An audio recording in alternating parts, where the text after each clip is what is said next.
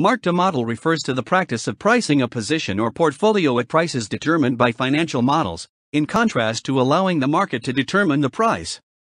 Often the use of models is necessary where a market for the financial product is not available, such as with complex financial instruments.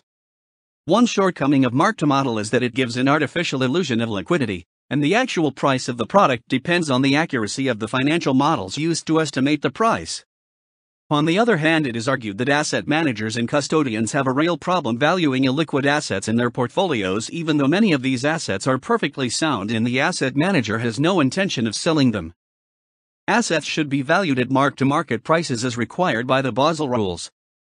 However, mark to market prices should not be used in isolation, but rather compared to model prices to test their validity. Models should be improved to take into account the greater amount of market data available.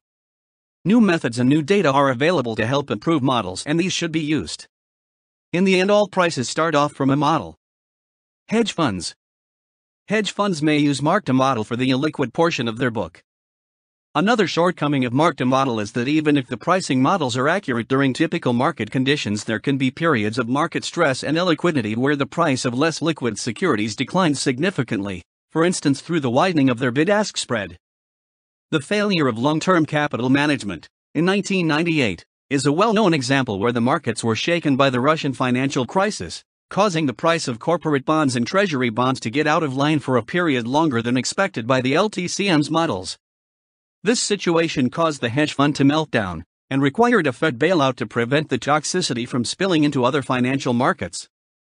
Enron collapse. The collapse of Enron is a well known example of the risks and abuses of mark to model pricing of futures contracts.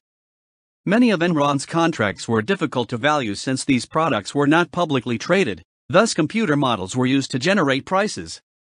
When Enron's profits began to fall with increased competition, accounts manipulated the mark to market models to put a positive spin on Enron's earnings.